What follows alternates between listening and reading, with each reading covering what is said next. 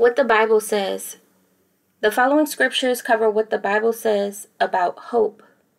First, I will read all the references so that you know where to look in the Bible. Next, I will read the scriptures straight through so that you may receive the full message concerning hope. The following scriptures are from Ezra 10:2, Job 11:20, Job 17:15, Job 31:24, Psalm twenty two nine, Psalm 33:18, Psalm 33:22, Psalm thirty nine seven, Psalm forty two five. And Shechaniah the second, son of Jehiel, one of the congregation of the sons of Elam, said to Ezra, We have broken faith and dealt treacherously against our God, and have married foreign women of the peoples of the land. Yet now there is still hope for Israel in spite of this thing. But the eyes of the wicked shall look for relief in vain, and they shall not escape the justice of God and their hope shall be to give up the ghost.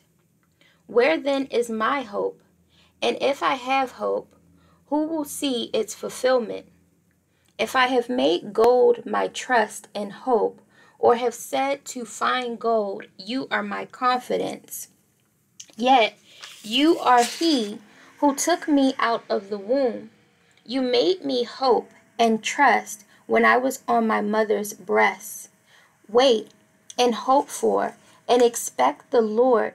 Be brave and of good courage, and let your heart be stout and enduring. Yes, wait for and hope for and expect the Lord. Behold, the Lord's eye is upon those who fear him, who revere and worship him with awe, who wait for him and hope in his mercy and loving kindness. Let your mercy and loving kindness, O Lord, be upon us in proportion to our waiting and hoping for you. And now, Lord, what do I wait for and expect? My hope and expectation are in you. Why are you cast down, O my inner self? And why should you moan over me and be disquieted within me? Hope in God and wait expectantly for Him for I shall yet praise him, my help and my God.